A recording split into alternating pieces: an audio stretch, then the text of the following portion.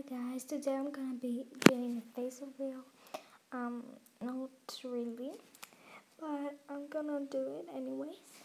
Um, I'm gonna not gonna show my face.